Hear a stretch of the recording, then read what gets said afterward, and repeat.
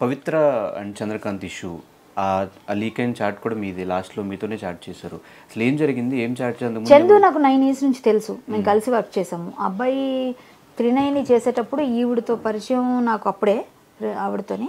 పవిత్ర. పవిత్ర గారికి అబ్బాయి కూడా అప్పుడు పరిచయం లేదు. నేను ఉన్నప్పుడు. నేను బిఫోర్ బిగ్ బాస్ నేను చెప్తుంది. బిగ్ బాస్కి వెళ్ళి వచ్చిన తర్వాత మానేశారు. అప్పుడు ఈ అబ్బాయి క్యారెక్టర్ని అటు మలిచారు. తనకి అసిస్టెంట్ ఒక బ్రదర్ లాగా. నాకు మా ఆమె నా ఇంటికి వచ్చేది అక్కలాగా అనమాట నేను ఆమెకు అక్కలాగా.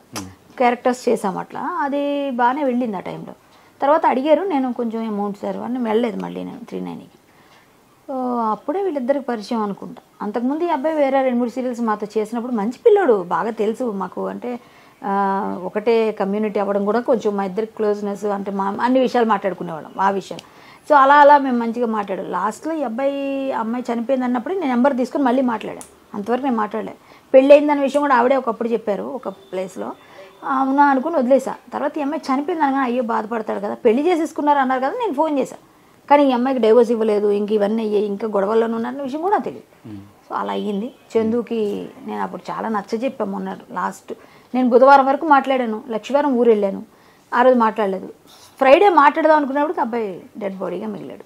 అది నాతో మాట్లాడినప్పుడు కూడా పిచ్చి పనులు చేయక చందు అని లాస్ట్ మెసేజ్ అదే ఉంది. మీరు చూడండి కావాలంటే. ధైర్యంగా ఉండాలి యాదవ్ అంటే ధైర్యం అనే పెట్టాను నేను. అబ్బాయి మంచిగా మాట్లాడాడు. అక్క అక్క అనేవాళ్ళు లేదా కళ్యాణి గారిని పిలిచాడు. మంచి పిల్లోడమ్మా. అబ్బాయి మాత్రం మంచి అబ్బాయి. మంచి వర్త్ ఉంది. బాగా డెడికేటెడ్గా పని చేసేవాడు డెడికేషన్ ఉంది వర్క్లో అలాంటి పిల్లోడు కానీ అన్నిటికన్నా నాకు ఎక్కువ డ్రింక్ చేసిన ఏమో అది నాకు తెలియదు అప్పుడు ఏమన్నా నేను చూడలేదు. నాకు అబ్బాయితో అంత మరి ఇంటిమేసి లేదు. ఓన్లీ షూటింగ్లోనే అలాంటప్పుడు మేము మాట్లాడుకునేది ఏదైనా ఉంటే అంతవరకే.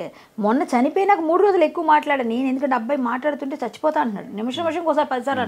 అర్థమైంది ఈ అబ్బాయి డిప్రెషన్లో ఉన్నాడు. నాకు తెలుసు ఆ డిప్రెషన్ పరిస్థితి. మా నాన్నగారు చనిపోయిన నేను అంత వరకు వెళ్ళాను మళ్ళీ నన్ను తమాయించుకొని వచ్చి మా ఫాదర్ లేనప్పుడు నేను మా ఫాదర్కి బాగా ఇదనమాట నేను పెట్టిన ఇంకా. ఇంకా నాకు మనిషి నాకు శూన్యం అయిపోయింది నేను వెళ్ళిపోయి వచ్చాను ఈ డిప్రెషన్ నుంచి. మనమే రావాలి బయటికి. ఎవరు చెప్పినా రాదు అది. మనం ఓవర్కమ్ చేయాలి. ఏదైనా వర్క్ పెట్టుకో. ఏదైనా చేసుకో. మళ్ళీ నీకు దేవుడు మంచి చేస్తాడని ఇట్లా అబ్బాయికి చాలా చాలా రకాలుగా చెప్పి చూశాను నేను. కానీ అబ్బాయి అలాగేనండి అన్నాడు. అన్నీ మాట్లాడాడు. ఏమో చెప్పాడు. మూడు రోజులు మాట్లాడాను. మాట్లాడిన తర్వాత మరి సడన్గా అసలు అంత ఏదో బాధలో ఉన్నాడు కదా అనుకున్నాను కానీ ఇంత డెసిషన్ తీసుకుంటాడు అనుకోలేదు నేను. అంటే ఒక సైడ్ మేము చూస్తున్నప్పుడు ఇటు సైడ్ వీళ్ళది ట్రూ లవర్ పాపం అమ్మాయి కాదు ఇప్పుడు. లవ్ ఇప్పుడు లవ్ అనకూడదు మనం. ఆ, ఏదైనా ట్రూ లవ్ లవ్ చేసుకున్నారు కాబట్టి ట్రూ లవ్ ఒక కోసం చనిపోయాడు అని చెప్పి ఇట్లా అనిపిస్తుంది. ఇంకో పక్కన ఆమె అన్యాయం అయిపోయింది అని అటు సైడ్ అనిపిస్తుంది. అన్యాయం అయిపోయింది కాబట్టి నేనైతే విధిలిఖితం అంటానండి. ఒకటి ఈ పవిత్ర చావు ద్వారా ఈ అబ్బాయికి రాసిపెట్టింది మారకం. చావు. ఆమె చా ఆమె చావు ద్వారా ఈ అబ్బాయికి రాసిపెట్టింది. సో అదే భగవంతుడు రాసిందని మీరు నేను ఆపలేమనడానికి ఇది ఒక నిదర్శనం. ఎవరైనా ఇప్పుడు నీకు ప్రాబ్లం ఉందని చెప్పగలుగుతారు. ఆ చెప్పినప్పుడు చాలామంది చెప్పుంటారు ఎందుకంటే ఆవిడతో ఎందుకంటే ఆవిడతో నేను చాలామంది చెప్పారంట. నాకు నిన్న మొన్న చెప్పిన సీరియల్ వాళ్ళనట్లు ఆవిడ వద్దండి ఎందుకంటే ఆవిడతో నేను చెప్పాం వినలేదు వినలేదు వినలేదు అన్నారు. ఏమైంది ఇప్పుడు? వెళ్ళొద్దు నిప్పు నిప్పు అంటే వెళ్ళాడు. అదేదో పోను అనుకోకుండా ఆవిడకి ఏదో బ్యాడ్ బ్యాడ్ టైము ఆవిడ చనిపోయింది.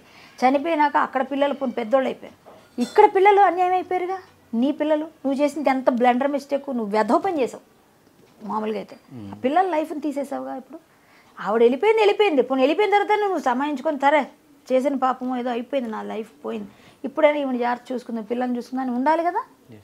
ఇది చేశాడు. కాబట్టి అబ్బాయి చనిపోయినాక వాళ్ళ వైఫ్ వచ్చాక నాకు అనిపించింది అంతవరకు మూడు రోజులు మాట్లాడినప్పుడు ఇవన్నీ తెలుసుంటే చెడ అమ్మడా తిట్టేదాన్ని నేను.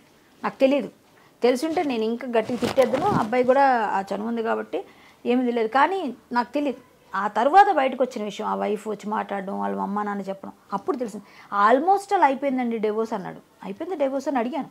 పెళ్ళికి పిలిచాడు నన్ను. పిల్లలని చెప్పాడు. నీ పిల్లలు పెళ్ళికి వస్తాలని కామెడీ చేశాను. చనిపోయాడు.